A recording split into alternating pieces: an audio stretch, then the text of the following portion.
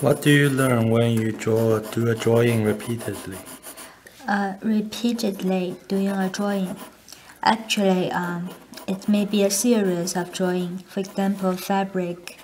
You set up the fabric, and uh, you have several beautiful ideas about how to do it. Sometimes I try to choose the best one or best two, maybe one horizontally, the other one um, vertically. But sometimes I have several, maybe five ideas about how to do it, and each one seems wonderful and interesting. So I'll do uh, a series of fabric. They look very similar, but uh, not exactly the same. You may say I do it repeatedly, but actually I did feel very different when I going on with each one. They give me different uh, feedback. It's, drawing is not like you're a farmer working on a line and uh, the, the paper is your line and you keep working and you get something there. It's not like that. And it's not just a piece of paper. It could going interactive with you. Although it's not a person, cannot speak like a person, like a friend, but a drawing as it growing it, it does talk to you in a way. If you are really engaged and really treasure it it belongs to you and it talks to you. And by doing a drawing uh, or doing a series of drawings repeatedly you will feel more and more intense uh, sometimes it run running away from you while, while running away because uh, it's not always there. Uh, sometimes you feel a lot from a work, sometimes feel less from a work, maybe um, because you're not quite okay, or maybe you're sleepy, or some other uh, distraction reasons. But by doing a work repeatedly, for example, this copy, this is my, my third time doing it, and uh, I learned different things. Although you, uh, as my family, watch me doing copy all the time, you may couldn't find the differences. Cross hatching, cross hatching, layers after layers after layers looks so similar. Sometimes maybe you will feel tiresome and meaningless, maybe, but really not. I know each inch of this paper is meaningful and important. And each time I do cross hatching, even though they look similar and looks the same, but I know every minute my cross hatching is meaningful because it's depicting something maybe important on the face, the portrait or drapery or hands, or maybe just the background. It's very weird if you do something right, correctly, and it looks good, it's uh, you almost take it take it as granted. It should be like that. But if you do something wrong, for example, the um, the change, the direction changed from the head and the neck and the shoulders, how this change how they are connected. If you have something wrong with the perspective in this human figure, the problem jumps out immediately. You will see something wrong there right away. Uh, the background, is it too light or is it too dark or it needs some gradation? Uh, if something wrong, it tells you immediately and you have to work on it. But if it's good, even perfect, looks beautiful, you will take it as granted. It should be like that. uh, but if you're actually doing the work, especially it's a big scale drawing, and you know how much work it takes and how much time it needs and how much frustrations and painful uh, suffering burdens is going along with the happiness of creating artwork. The sublime of creating artwork, also the heaviness of being uh, being um, suffocated, and uh, I think the reason for doing a drawing repeatedly may be simply because the work is beautiful.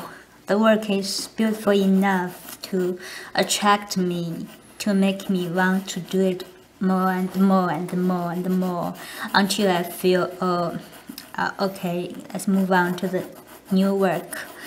Um, that's the very simple reason. It's the work itself is beautiful enough to attract me. Uh, there is a reason to do it. For example, this one, I'm looking for an answer. That is the gradation from from the lightest light to the darkest dark, um, the brightest forehead until the darkest darkest shadow, the gradation. It sounds very easy. All my teachers told me, and uh, what I saw from nature is closer to the light, and the contrast is stronger. And far away from the light, it fading away and it becomes a lot more mild or weaker.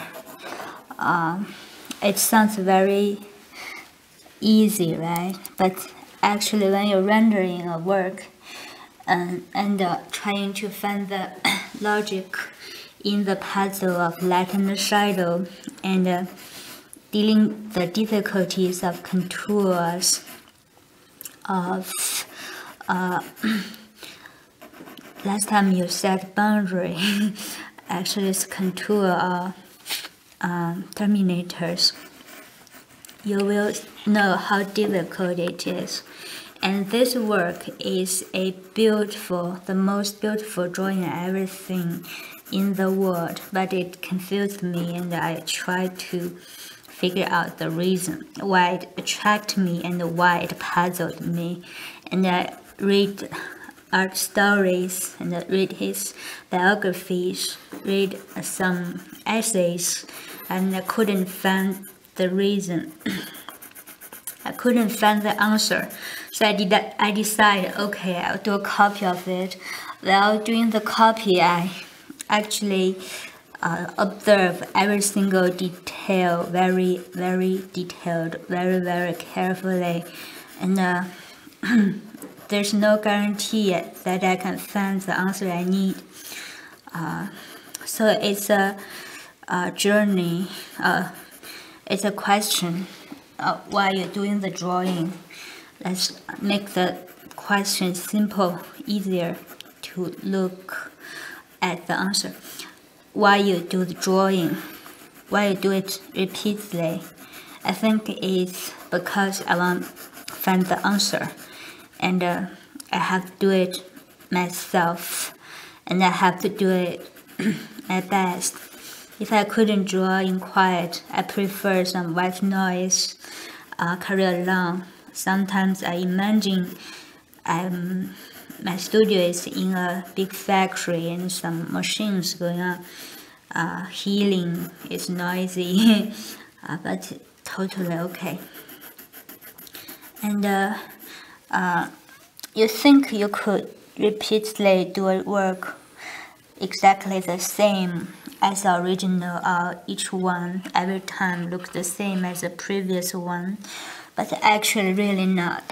You could never be the same as the original one and every time you re repeat it it's different from the last time you did it and you feel very very different uh, from the previous trying uh, and uh, when you put them together it's interesting. You look look back what you have done and uh, everything lost seems comes back to you. And uh, all the suffering seems uh, really doesn't matter anymore. It's alright my drawing with me. And you grow and you feel you are you are be cheated. Uh, it's tricky no matter how hard you work on your drawing and uh, how much you learn, the endeavor, uh, the peaceful, lost, uh, whatever you going through your mind while doing this work, uh, whatever happened in your life while you're doing this work, it's all part of it, and they are all connected through your this series of work looks similar or looks repeatedly. Nothing is wasted. Nothing is irrelevant. Nothing is not important in terms of rendering a drawing, in terms of within this uh, allowed range, could never run out of the range. Uh, the limitation of paper and the limitation of pencil, limitation of my own comfort zone, so small. Uh, but there is a infinite space so far, far away, enjoying I've seen it. And uh, as I know the question seems easy, but it could also be very deep. Drawing could be super heavy and uh, deep, and uh, to the end, you feel you're still not sure. Um, and there's no one you could communicate what he think about it, or what she has done with his with her pencil. Uh, so drawing uh, repeatedly end up with a self self getting along thing. You get you're getting along with your loneliness, and you do not suffer with it. And it's the most beautiful situation as an artist. It's not loneliness, actually, it's solitude very self-possessed solitude. You think about some questions, or you, you just keep your mind empty, very peacefully and coolly working situation. That's the most beautiful and uh, my desire actually to be alone. Mm. And uh, I, I wish for I could do this work 10 times and each time I'll try something different, material, method, or composition, or some new trying. And then after it's done, I'll put all these 10 pieces together on the wall. Uh, I'll make a tiny book. it should be very fun. it should be funny. And uh, uh, before you're trying, you may think it's impossible. If you dare to to say, you dare to think, I only live once.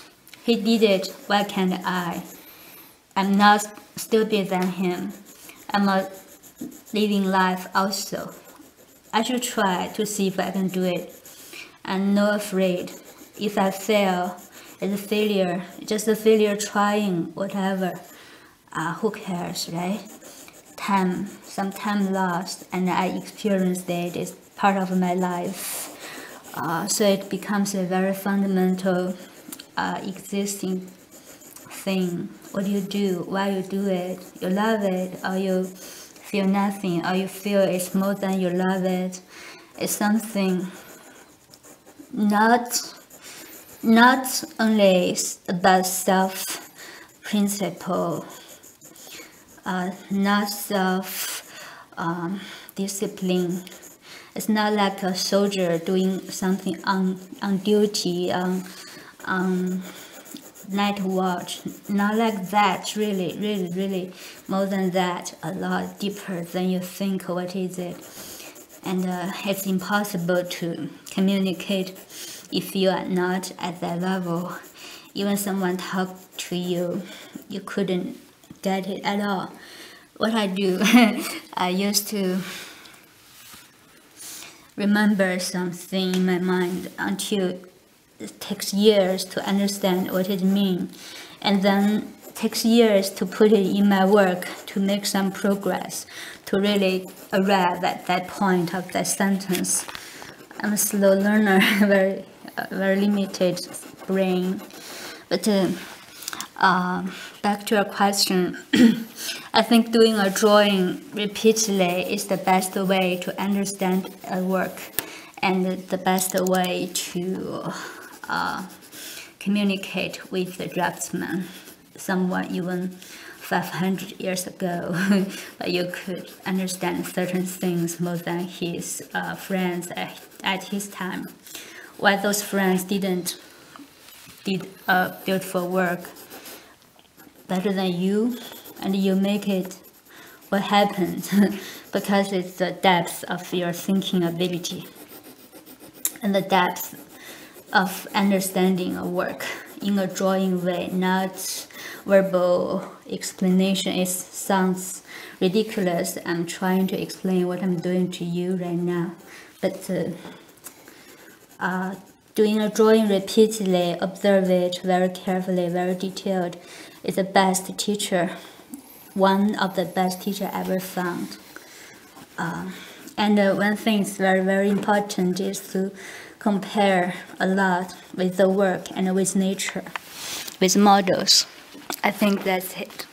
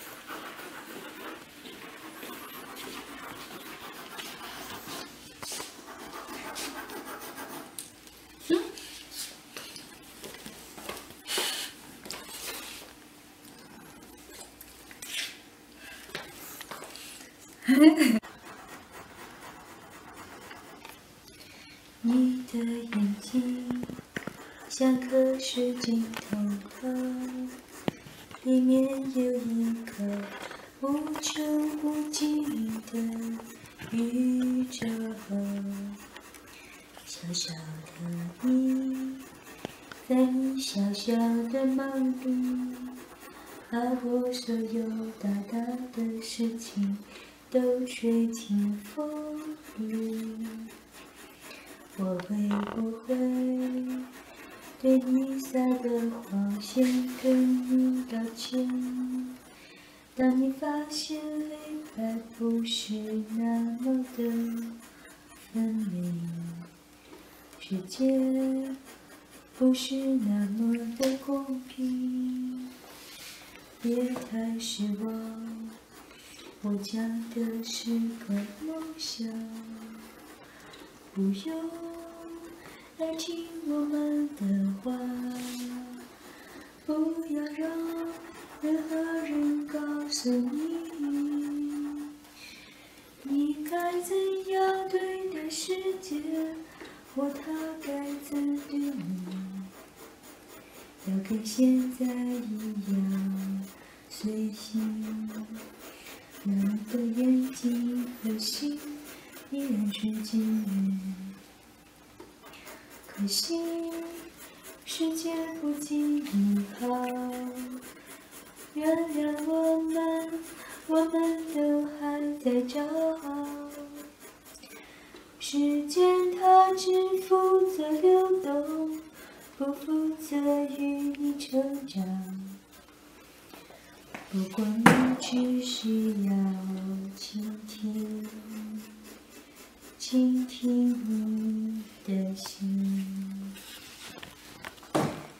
你的眼睛像颗水晶通透，里面有一个无穷无尽的宇宙。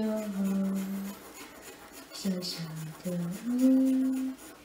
在你小小的梦里，把我所有大大的事情都吹进风里，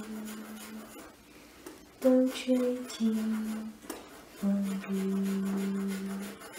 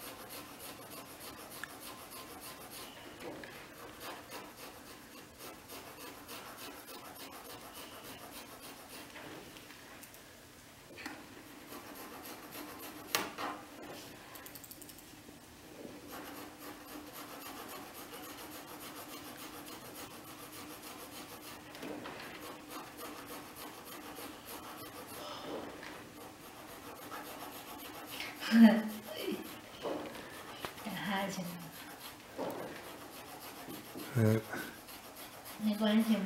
没关系。